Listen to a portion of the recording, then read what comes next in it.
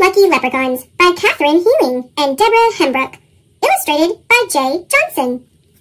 The woods are full of leprechauns and treasures to uncover. Fiddle-dee-fizz, there's magic there is when leprechauns find each other. One leprechaun hears a nosy wee elf who's playing a squawky kazoo. Fiddle-dee-fizz, tis magic it is. It's leprechaun number two.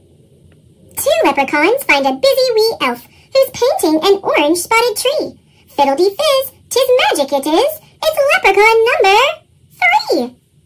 Three leprechauns spy a nimble wee elf who romps on the green forest floor. Fiddle-dee-fizz, tis magic it is. It's leprechaun number four. Four leprechauns see a silly wee elf who splats in a belly flop dive. Fiddle-dee-fizz, tis magic it is. It's leprechaun number leprechauns watch a jolly wee elf who's practicing juggling tricks. Fiddle-dee-fizz, tis magic it is. It's leprechaun number six. Six leprechauns spot a speedy wee elf who zooms by.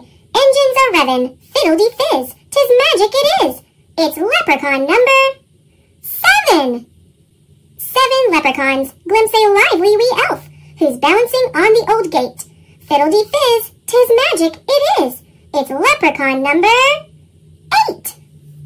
Eight leprechauns view a frisky wee elf who's zipping through the trees on a vine. Fiddle-dee-fizz, tis magic it is.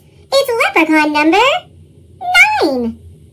Nine leprechauns meet a clever wee elf who's hunting for treasure and then, Fiddle-dee-fizz, tis magic it is.